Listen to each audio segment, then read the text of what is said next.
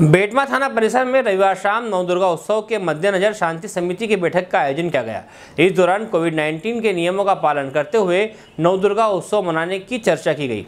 बैठक में तहसीलदार देपालपुर में नवदुर्गा उत्सव समिति को निर्देशित किया कि माँ दुर्गा की प्रतिमा स्थापित करने के लिए 30 बाय 45 फीट से बड़े साइज़ का पंडाल निर्मित न करें।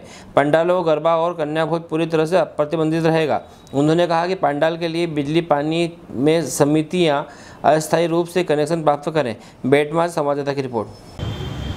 आगामी नवरात्रि एवं दशहरा पर्व के आयोजन के संबंध में थाना बेटमा में आज शांति समिति एवं आयोजकों की एक मीटिंग आयोजित की गई थी। और इसमें आयोजन के संबंध में लोगों को जानकारियाँ दी गई हैं, जो मध्य प्रदेश शासन गृह विभाग का जो नवीनतम जो निर्देश आए हैं वो सबको उससे अवगत कराया गया है और इसमें जो मूर्तियों की जो साइज़ जो पूर्व में अधिकतम छः फीट बताई गई थी उसका जो प्रतिबंध है वो समाप्त कर दिया गया है। उसकी साइज़ कितनी भी हो सकती है। इसके अलावा गरबा और चुनरी यात्रा को लेकर? गरबा और चुनरी यात्रा की अनुमति नहीं रहेगी। किसी प्रकार के चल समारोह नहीं निकलेंगे कोई सांस्कृतिक कार्यक्रम नहीं किए जाएँगे।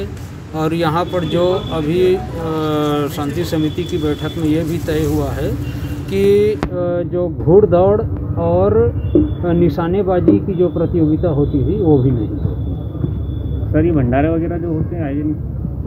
जी नहीं भंडारे का भी आयोजन नहीं होगा। अ, किसी भी प्रकार की सोशल गैदरिंग जिससे कोरोना संक्रमण का मतलब खतरा बढ़े, ऐसा कोई भी आयोजन नहीं किया जाएगा।